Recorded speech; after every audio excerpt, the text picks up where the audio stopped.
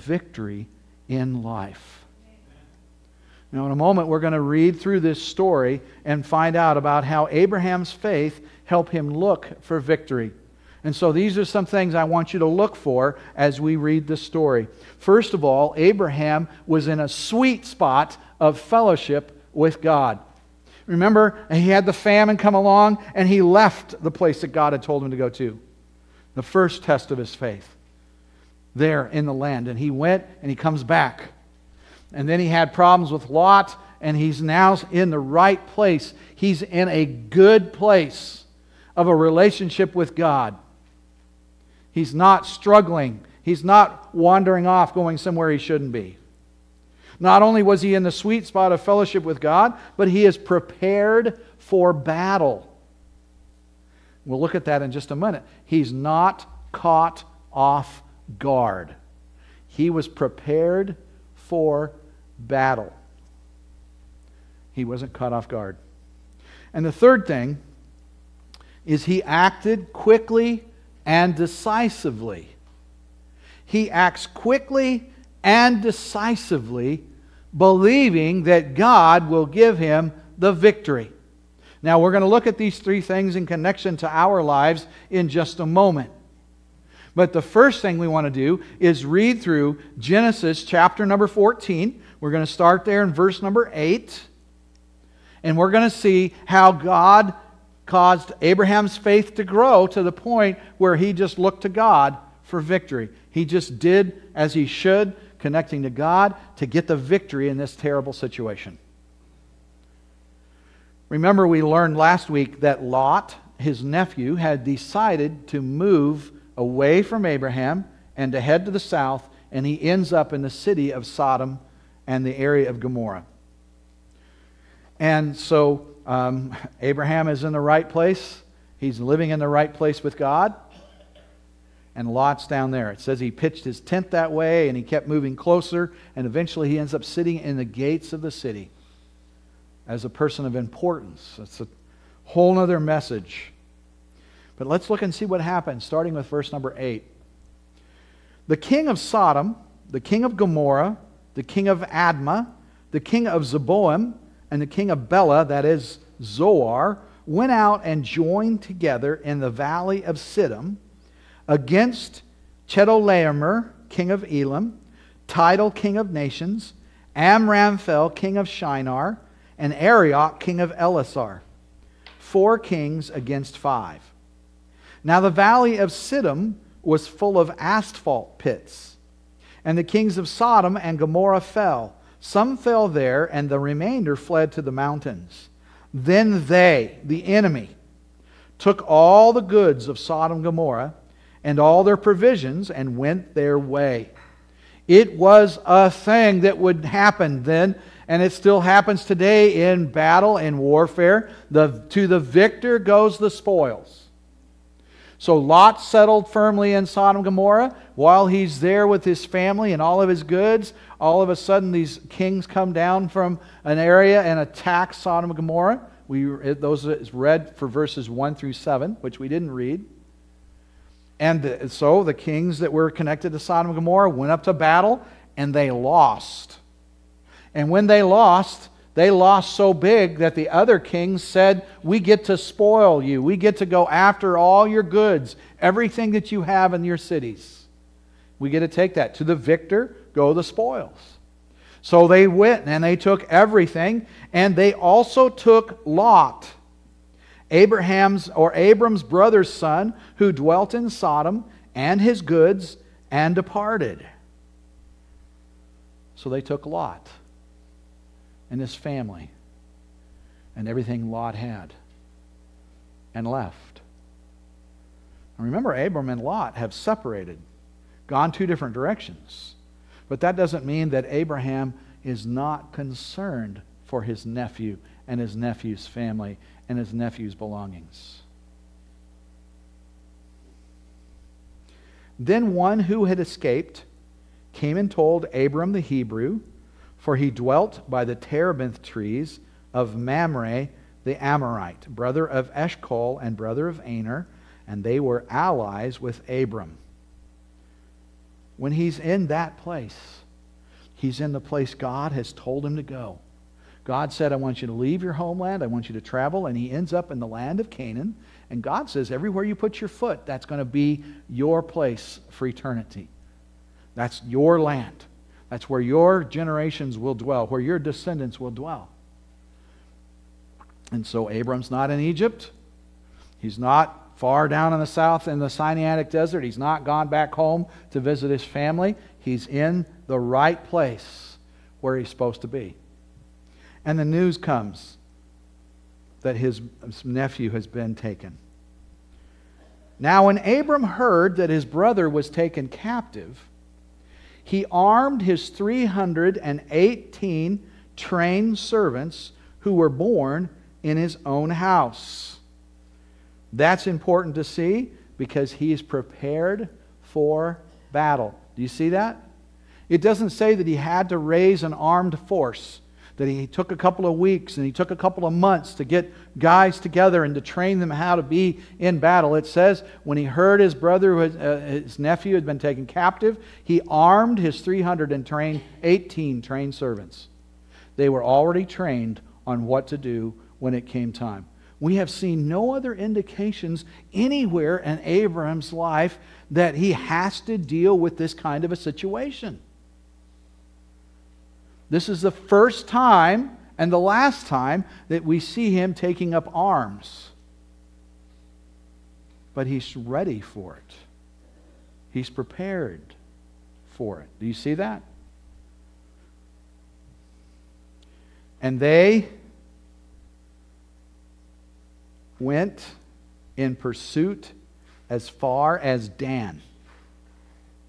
He divided his forces against them by night and attacked and he and his servants attacked them and pursued them as far as Hobah, which is north of Damascus. So he moved quickly and decisively. He didn't waste time trying well, should I really? It's just Lot. I mean, we were already separated from each other. Why would I go after the ones that have attacked him and captured him? And he may not even be alive. No, when he heard the news, he was prepared and trained. He was in the right place with God. He was prepared and trained and ready to go. And then he acted quickly and decisively. I'm going to do this. I'm going to take care of this. And he even did it by night. So he brought back all the goods and also brought back his brother Lot and his goods, as well as the women and the people. So God gives him a tremendous victory. It's Abram and how many men? 318. Against how many kings and all their forces? Five. Those are not real good odds. Sort of like the story of Gideon going against the armies that were opposing Israel. But he moves and does this, and God gives him a tremendous victory. Those are some big things to see in this story, and so we want to look at these things, how this can affect me. So, how my faith can help me look for victory how my faith can help me look for victory. Well, we said the first thing is is that Abram was in the sweet spot of fellowship with God. We need to be in the sweet spot of fellowship with God if we're going to get victory. Well, what are you talking about, Pastor Walt? What do you mean the sweet spot of fellowship with God? We need to be in a good place with God. Are we, have we been reconciled to Him? Are we a believer? Have we been sanctified? Are we in the right place with God? Or are we playing the prodigal? Are we not connected to God in any way? We need to be in the sweet spot. So let's look at some verses. 1 Corinthians chapter 6, verses 9 through 11. We need to be in the right place with God if we're going to expect victory to happen. Do you not know that the unrighteous will not inherit the kingdom of God? Do not be deceived. Neither fornicators, nor idolaters, nor adulterers, nor homosexuals, nor sodomites, nor thieves, nor covetous, nor drunkards, nor revilers, nor extortioners will inherit the kingdom of God. And such were some of you. Before you met Jesus, what was your life like? What was your life like? This is what it means by being in the sweet spot. You were washed, you were sanctified, you were justified in the name of the Lord Jesus and by the Spirit of our God. So we were like the rest of the world, but we believed in Jesus Christ, and our life is changed. If any man be in Christ, he is a new creature. Old things have passed away, behold, all things have become new. Such were some of you. But you've been washed, washed in the blood of the Lamb. Have you been to Jesus for the cleansing power? Are you washed in the blood of the Lamb?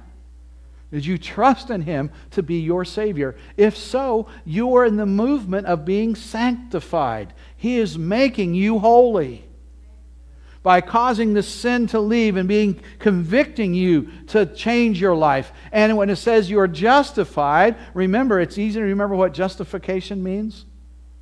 Just as if I never sinned. That's what justified means. Just as if I'd never sinned.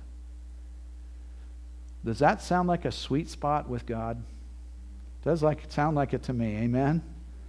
To be in the right place. So if I want to have victory, I need to be in the right place of fellowship. We'll look at one more verse in Ephesians. It's a little longer reading, so we'll go through it quickly.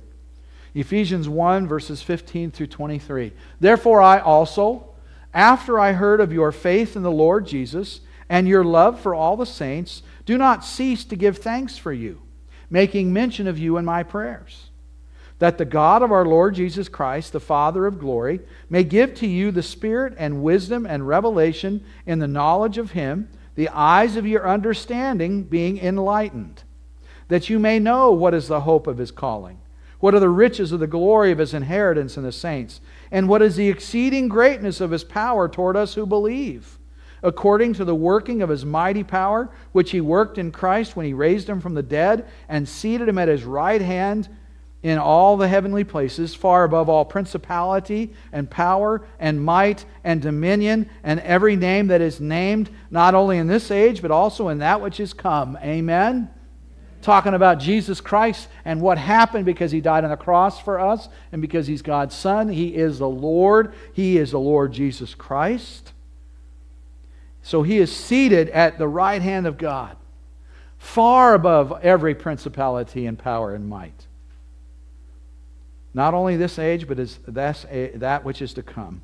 And he put all things under his feet and gave him to be the head over all things to the church, which is his body, the fullness of him who fills all in all. I want to be as close to Jesus Christ as I can possibly be to be in the sweet spot. So I'm going to read my Bible and I'm going to pray and I'm going to be in church faithfully and I'm going to be around and I'm going to do what God wants me to do.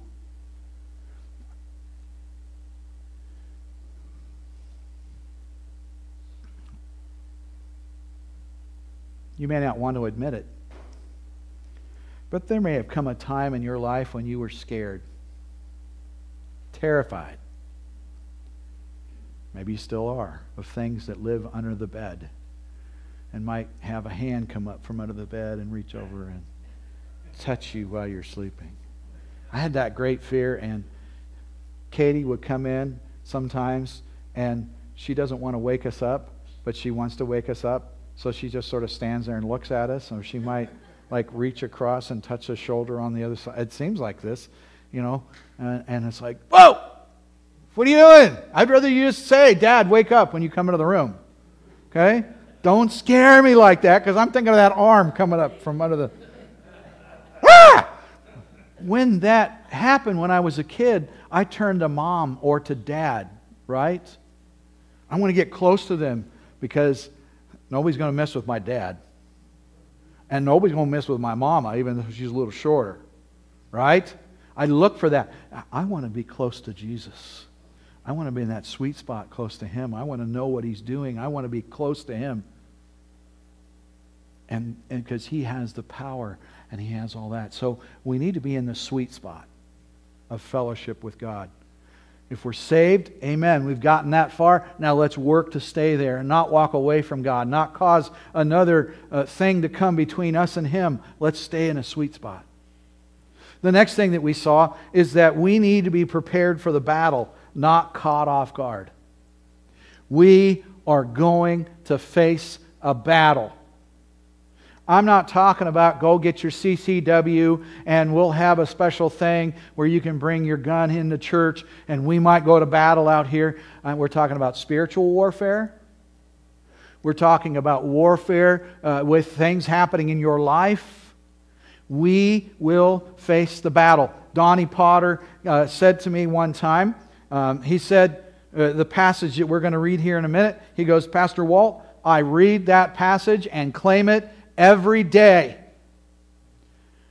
And he goes, and I don't understand. It seems like I have all kinds of turmoil at my house and at work and just stuff going on. And I go, dude, if you're asking for the armor of God to be put on, you are not going to just sit around the house in the armor of God and nothing's going to happen. If you're going to armor up, it means you're ready to go to battle. When I played football and I put a uniform on with all those pads, I didn't like sitting on the end of the bench. I wanted to get out and play football if I'd gone to all that trouble. So if you're going to put on the armor of God, which we need for the battles we're going to face, then you better be ready to go to, go to work.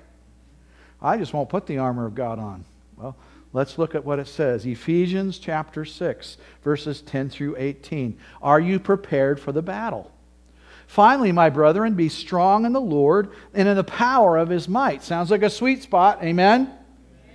Put on the whole armor of God, the whole armor of God, that you may be able to stand against the wiles of the devil. Now, wiles is an old English word that means against his sneaky, dastardly, if that's something you remember, attacks. Evil. He's going to come against you. So you need to put on the armor of God. For we do not wrestle against flesh and blood, but against principalities, against powers, against the rulers of the darkness of this age, against spiritual hosts of wickedness in the heavenly places. Therefore, take up the whole armor of God, that you may be able to withstand in the evil day, and having done all, to stand. Stand, therefore, having girded your waist with truth having put on the breastplate of righteousness, having shod your feet with the preparation of the gospel of peace, above all, taking the shield of faith. I have to laugh. I, I watch some of these old movies like Lord of the Rings. Well, it depicts an older time, and they've got these little tiny shields, you know. Or I watch something like Spartacus or something like that, and they got these little round shields, and it's they're fighting and they're blocking. The, I want the biggest shield that they can possibly get. If I can get behind it and not be seen at all, amen. I want my faith to be big. Take the shield of faith with which you'll be able to quench the fiery darts of the wicked one. Anybody have been hit by a dart? You went somewhere and they were having a dart throwing thing and you happened to walk by and it didn't stick in the dart board, it stuck in you. Anybody like that? or one of your siblings did it when you weren't looking. Okay, it's painful enough to get hit with just a dart. Can you imagine if it was on fire? That's what Satan's throwing at us. He's in battle against us. Folks, he already owns the world, they already belong to him. He's after us. That's why we got to put on the armor. And take the helmet of salvation and the sword of the Spirit, which is the Word of God praying always with all prayer and supplication in the Spirit, being watchful to this end, with all perseverance and supplication for all the saints. So armor up, dear believer. Be ready for the battle. How can you have victory if you're not ready for the battle? 1 Thessalonians chapter 5 verses 5 through 10. You are all sons of the light and sons of the day. We are not of the night, nor of darkness. Therefore, let us not sleep, as others do, but let us watch and be sober. To be sober means we're paying attention, we're not distracted. For those who sleep, sleep at night, and those who get drunk are drunk at night. But let us who are of the day, that's us, putting on the be sober, putting on the breastplate of faith and love, and as a helmet the hope of salvation. For God did not appoint us to wrath, but to obtain salvation through our Lord Jesus Christ, who died for us, that whether we wake or sleep, we should live together with him. But Paul is saying we should be awake and ready to go. Dwight, when you were playing basketball, we didn't have cell phones yet.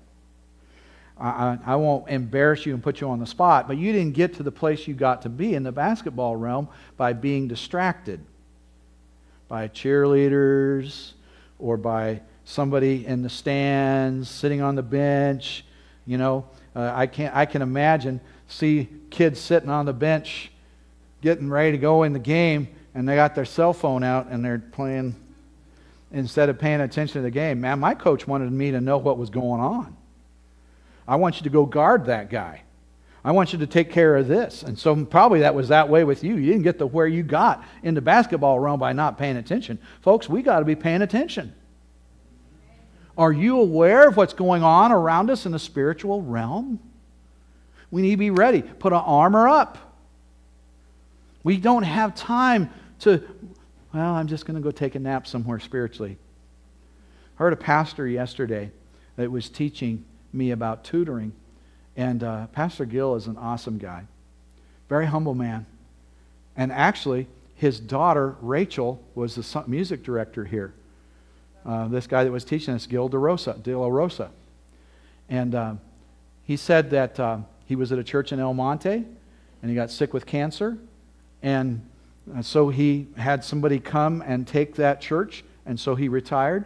Although he stays busy, he goes, Pastors never really retire, they just keep going. That's what I want to do. That's where I want to be. I want to just keep going for the Lord.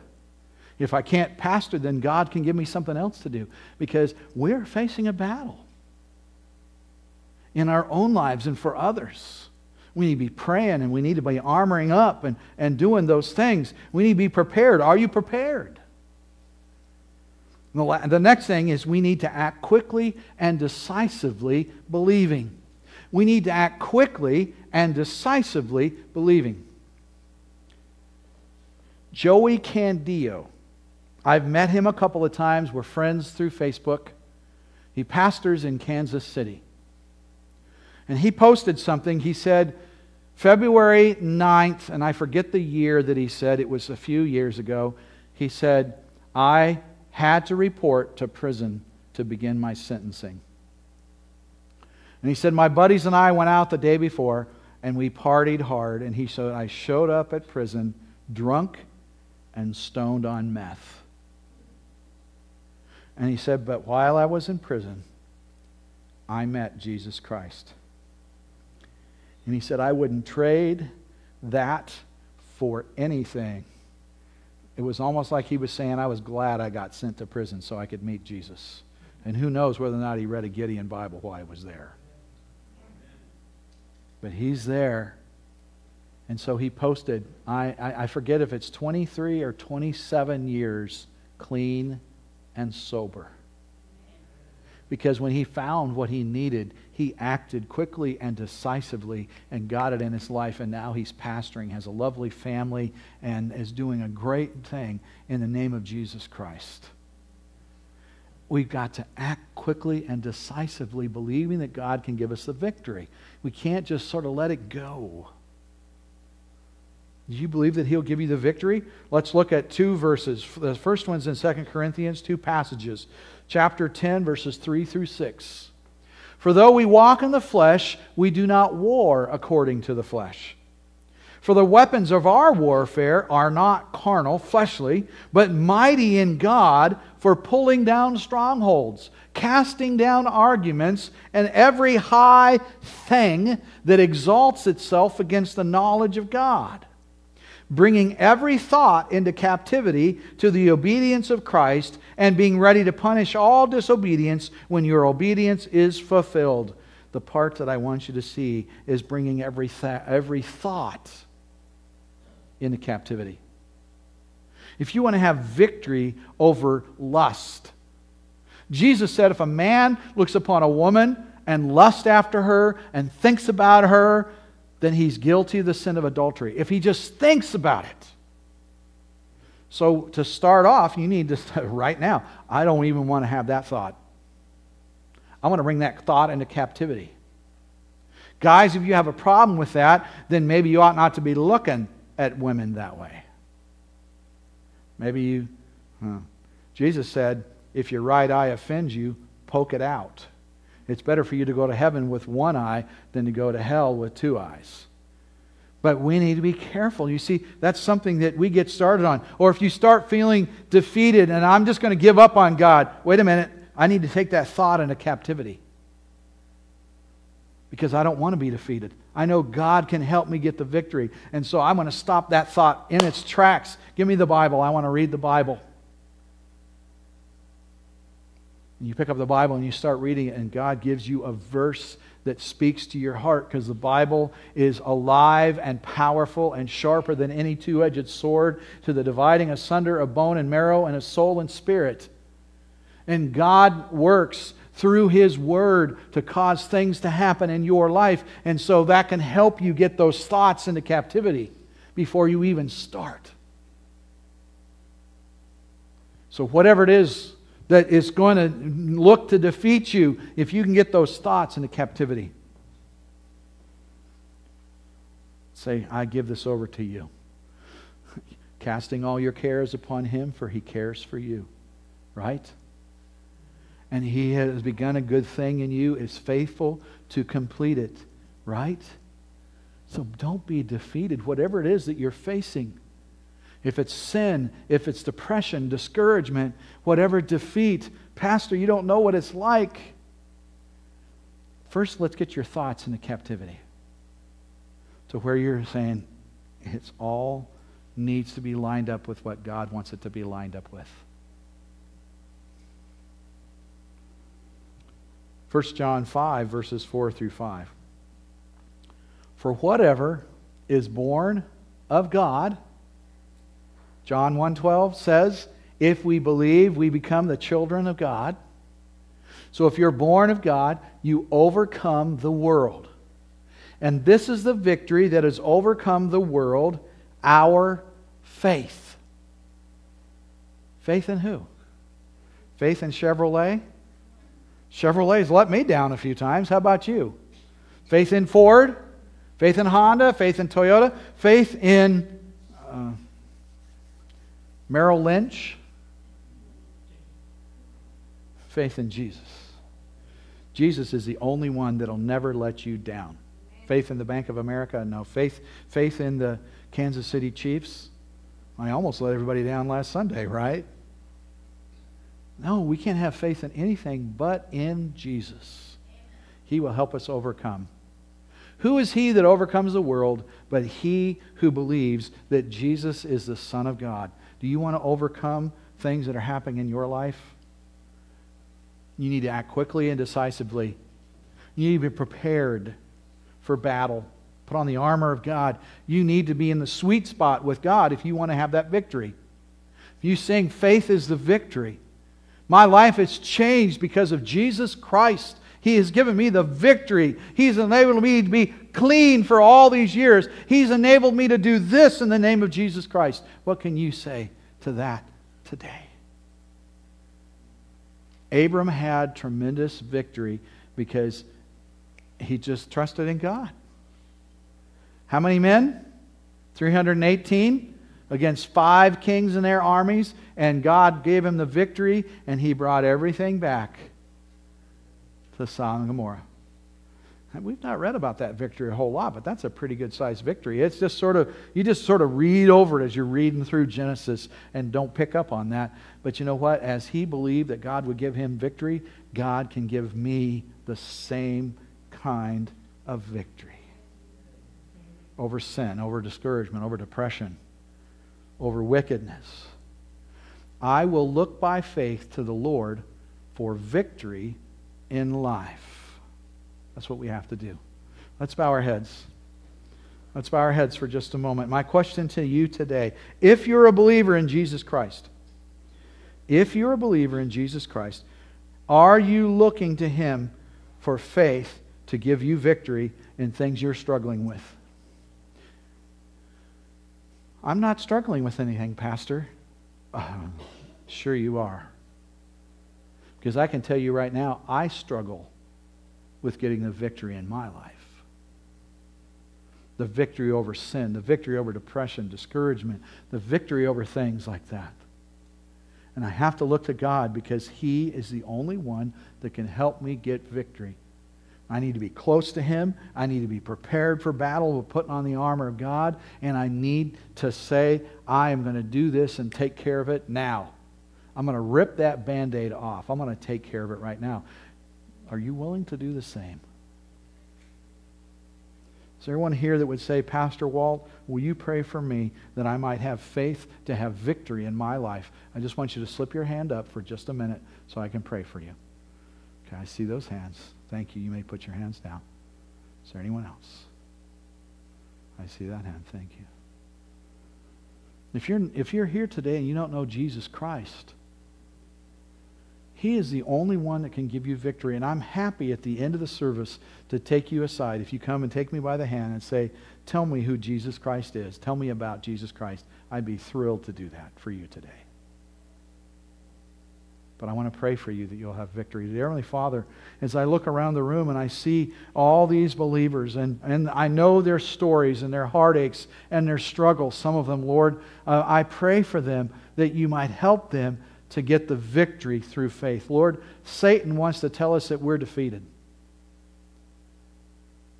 But we know somebody that's a victory over Satan. Lord, you have the victory over death over the penalty of sin. You have the victory over Satan. He is not your equal. He is an underling. He is an angel, a created being that went wrong. But Lord, you are the King of kings and Lord of lords, and you will be victorious. And we look to you to give us the victory, whether it's over our addictions, whether it's over our sin, whether it's over our discouragement and depression. Lord, you can give us the victory if we'll just look to you. Lord, I pray for these that raise their hands and for myself that we'll be in the sweet spot with you we'll be in the resting in the place that we're supposed to be with you, that you want us to be in. And we'll be prepared. We'll put on the armor. We'll be ready for whatever Satan wants to bring. And we'll act quickly and decisively. We won't dither around. We won't waste time. We'll take care of it right now. Help us to grow in our faith to have the victory. We ask this in Jesus' name. Amen. Ushers, if you'll come, please.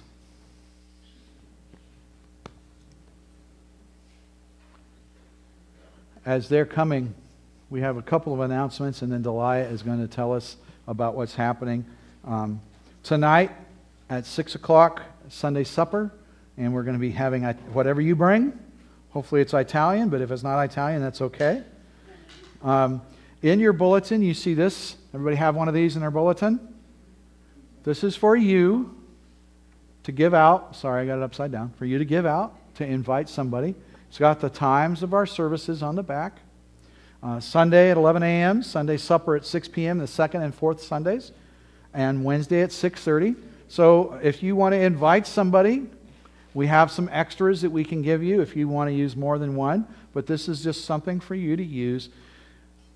A lot of people, they just won't come in randomly, although some have. Some of you have come in here randomly. But a lot of people, if we would just invite them and say, hey, come with me to church, they'll come if we just invite them. But we have to invite them first. We have to invite them. So that's why we're providing you with this, so that you can invite your friends and your neighbors and maybe even an enemy or two. So we're going to have prayer, and then Delia is going to tell us about her program. Mike, would you pray for the offering, please?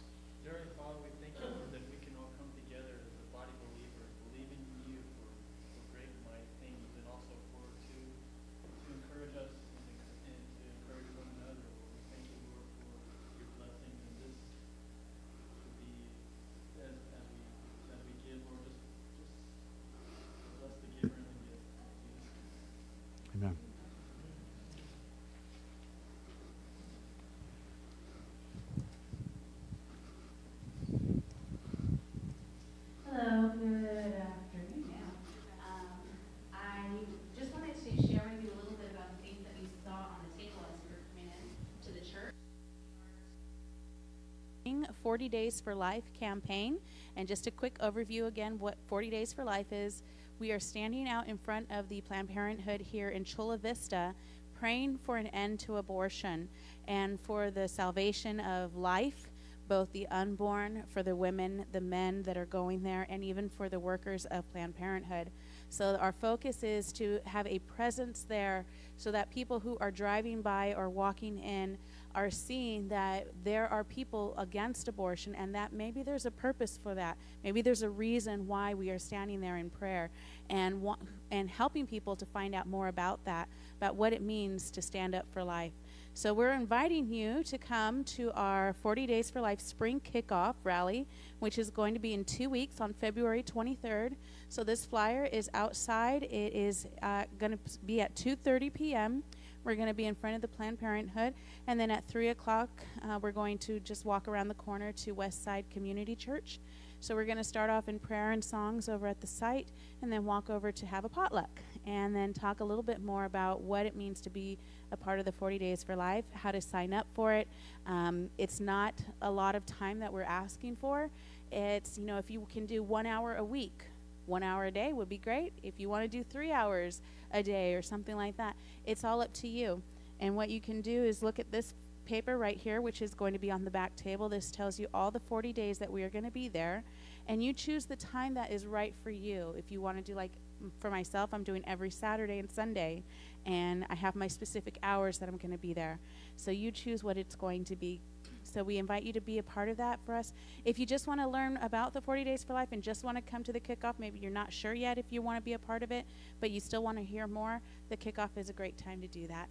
Um, and just on a side note, uh, if you know anybody who needs diapers, we're doing a free diaper giveaway um, distribution over at Silent Voices at the um, our site today, and it's every second Sunday of the month, so you can pick up one of those flyers as well.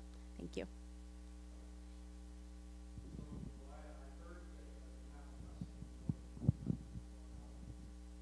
True?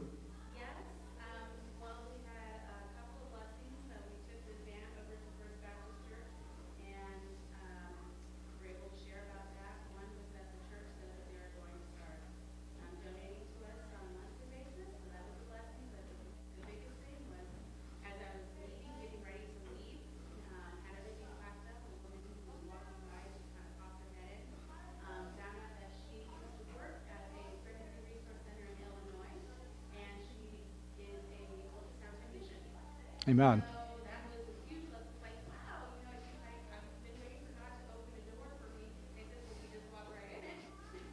Amen.